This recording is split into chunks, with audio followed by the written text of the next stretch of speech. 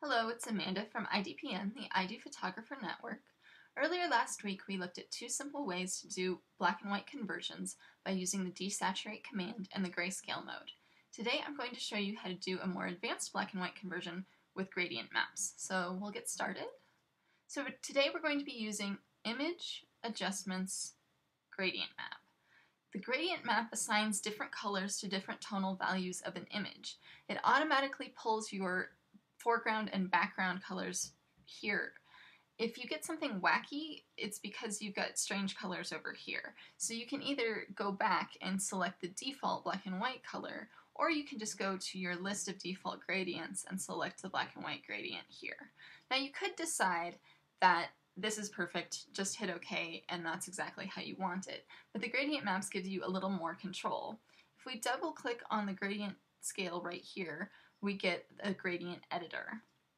And we have the ability to either, if we click on these black points or white points, we'll get a midpoint and we can adjust that midpoint by sliding it back and forth and that will change how things look here. We can also add a stop by clicking below the gradient and that stop right now has decided it's it's pure black and we can, you know, really mess with things by moving that around.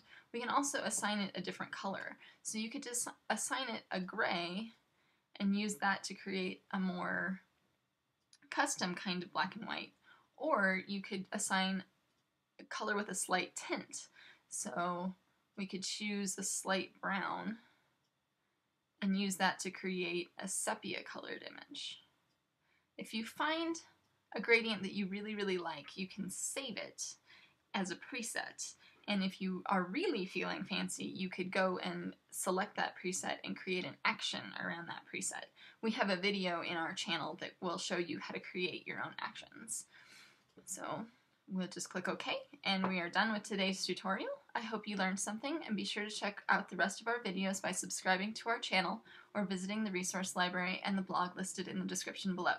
Thank you again from IDPN, the iDo Photographer Network at www.idophotonet.com.